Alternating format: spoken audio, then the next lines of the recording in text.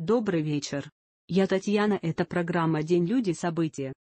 Сегодня мы говорим о событии 23 июля. 23 июля 1774 года 20-тысячная армия Емельяна Пугачева ворвалась в Казань и учинила там массовую резню и погромы. На следующий день повстанцы были выбиты из города царскими войсками под командованием полковника Ивана Михельсона, 1755-1807 годы. Сторонники Пугачева понесли огромные потери, а часть его войска была взята в плен.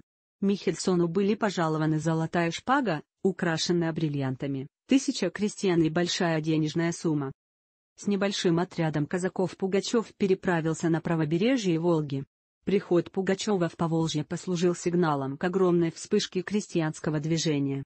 При приближении армии повстанцев, крестьяне расправлялись с местными властями и уходили к Пугачеву.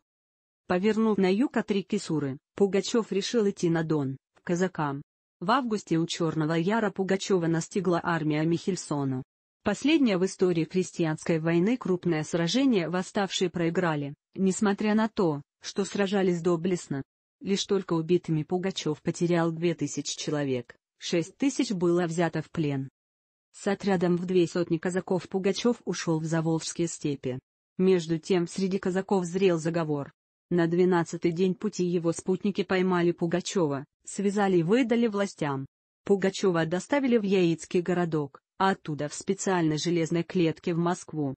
В канун нового 1775 года начался суд, который приговорил Пугачева к четвертованию. 10. 21 января в Москве на Болотной площади Пугачев был казнен.